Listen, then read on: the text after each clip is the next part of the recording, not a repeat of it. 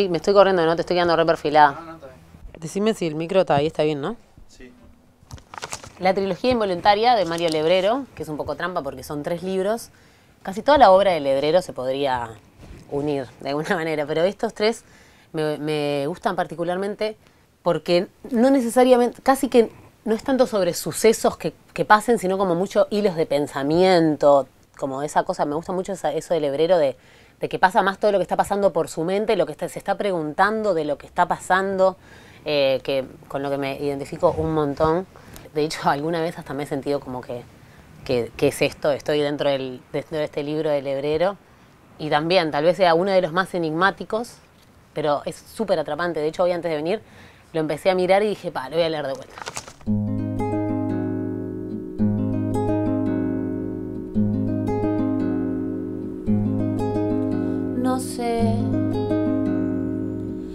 Sé con cuál despertar quedarme.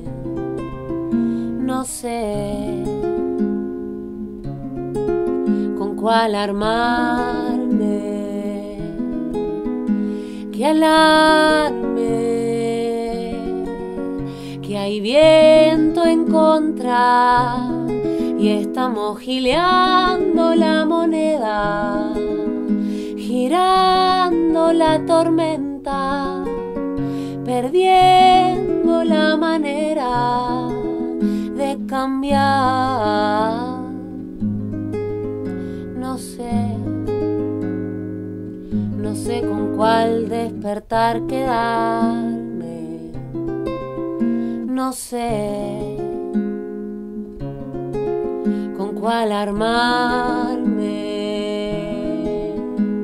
que alarme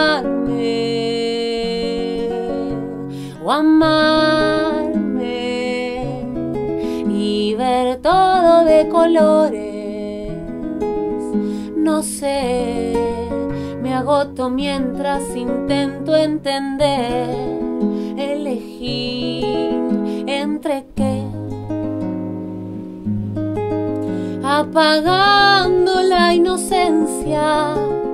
Hoy me cierran las persianas mismo tiempo me levantan despertar.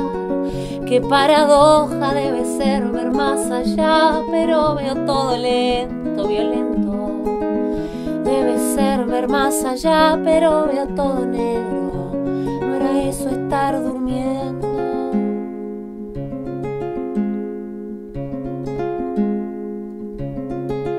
Yo no, no creía en las conspiraciones, no era mi materia prima verlas. Y ahora me quedan las canciones, sacar de todo lo oscuro un leve caparazón de luz fluo para proteger mi cuerpo inconcluso y para que siendo escudo sea emblema la luz. Tiene que ganar como un rayo láser que iluminará adelante, que cambie mi andar, despierto, prendido, consciente, dolido, pero no abatido. Y si somos muchos, será imposible no perforar esa piel cascada del mundo que nos quiere vendar, que nos quiere vender. Yo me quiero quedar con que nos quiere.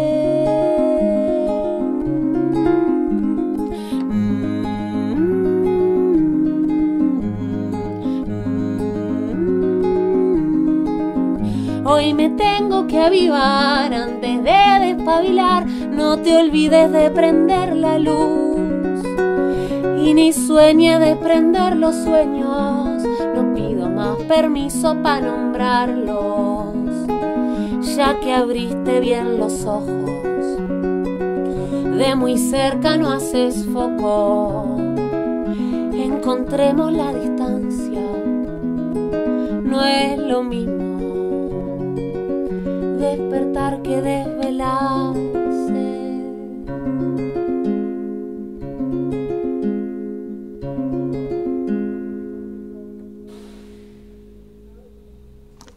El siguiente libro se llama Océano Mar, es de Alessandro Barico, un escritor italiano que también me gusta mucho, del que he leído muchos libros. Y este en particular, bueno, primero porque me siento un ser de playa, o sea que ya eh, anímicamente y, sensorialmente me, pega. Y porque tiene una poesía muy hermosa sobre lo que el mar puede significar, lo que la gente puede ir a buscar en el mar, de lo que la gente se puede ir a salvar. Eh, también sobre la búsqueda artística. Eh, ahí hay un personaje que es un pintor que está intentando encontrar el mar, cómo dibujar el mar y nunca encuentra, nunca encuentra como su mirada, la mirada del mar. Y bueno, sobre los deseos, sobre los caminos que a veces creemos que, que, ya sabemos por dónde van y de repente hay otro personaje que siempre me acuerdo que dice, se borró, se borró, el camino que ya sabía se borró, donde vas encontrando como frases que te guardás después para la vida.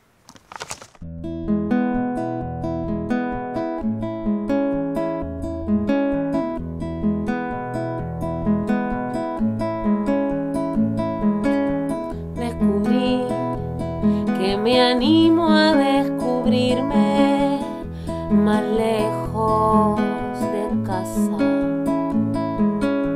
Descubrí que lejos de caretearla, aquello era dar la cara.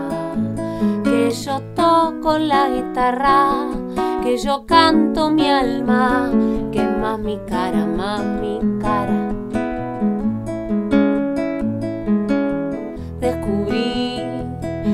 Siempre abro más los ojos cuando canto, cuando canto lejos de casa.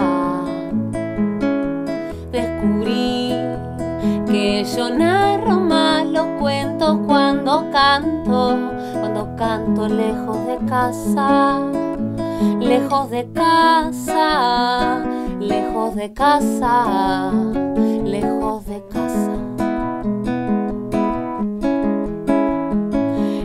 digo lo que amo y que digo lo que amo lejos de casa.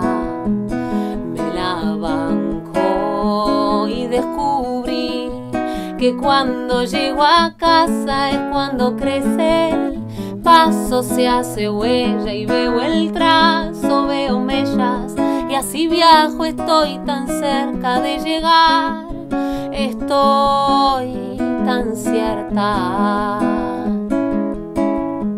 volver a casa con menos velos, más suelto el pelo, probado el cuero, ganado el fuego, sagrado el trueno, volver a casa, leal al beso, volver a casa, volver a tu nombre, sentís tu nombre Mirás tu nombre, tocas tu nombre, olés tu nombre, sabes tu nombre, a qué sabe tu nombre.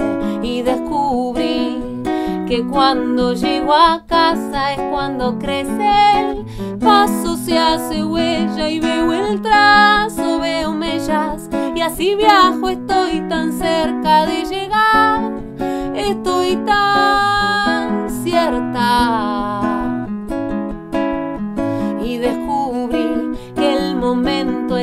que crece el paso es cuando vuelvo al piso, cuando crece el pasto se hace huella y veo trato, veo mellas, que lo viejo ya pasó y que hoy me animo yo a ser yo.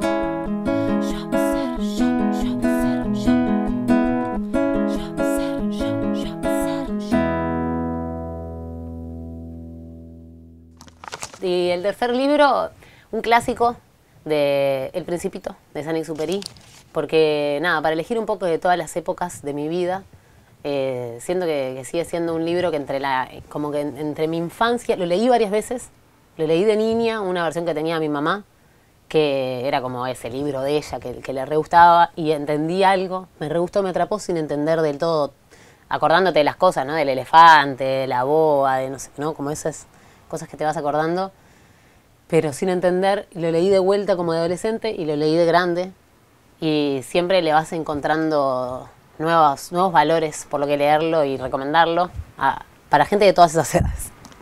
Nunca tuve silla con ruedita. Igual te van a. No posta. Era como, me das una silla con ruedita y Ah, hay un precio, ¿no?